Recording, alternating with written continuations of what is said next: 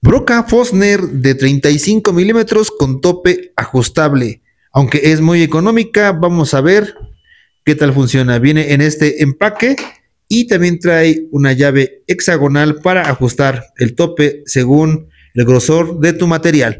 Pero vamos a ver qué tal funciona sobre AAA y sobre MDF. Vamos a ver su rendimiento y vamos a ver si la podemos recomendar. Vamos a comenzar a perforar el MDF, vamos a ver qué tal funciona.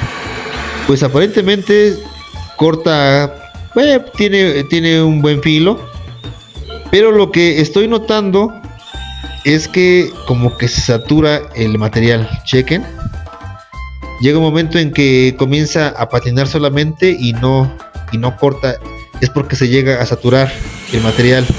Tal vez se deba a la forma en que están los gavilanes, es decir, las, pastillas del, material con que están elaborados estos filos, que es el tungsteno. Pero, eh, pues no sé, no sé por qué se atasque. Ese es el primer detalle que, que noto que se satura de material.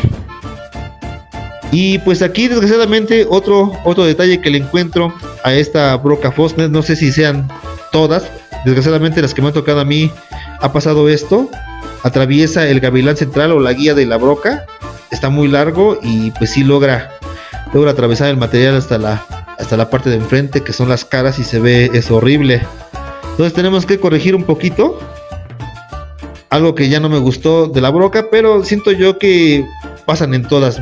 También me tocó con una, una plantilla de la marca Craig también me atravesó el material de 15 milímetros. No sé si estén diseñadas estas solamente para material de 18 para arriba.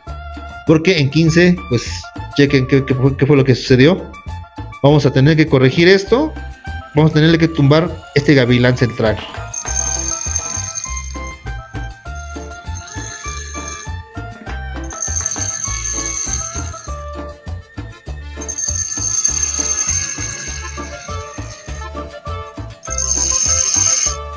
Aquí también tenemos que tener mucho cuidado de no hacer un contacto con los gavilanes, nuestra piedra de afilar. Aquí desgraciadamente, pues no, yo sé que esta piedra no era adecuada para hacer esos rebajos, pero como es una broca económica, son aceros muy blanditos, esto se, esto se rebaja rápido. Le vamos a rebajar un milímetro y medio para que ya no tengamos problemas más adelante. Y también otro consejo no se te vaya a pasar rebajarle mucho ese gavilán porque si no también vas a tener muchos accidentes y va a comenzar a patinar la broca y te va a hacer un desastre en tus materiales. Entonces ahí abusado con lo que le vas a rebajar según según la según lo largo de esa punta es lo que le tendrás que rebajar. En este caso yo le quité milímetro y medio porque sí era lo que estaba atravesando el material. Pero bueno ya dependerá de, de cada quien no pero bueno este sabemos que es una, una broca que es económica.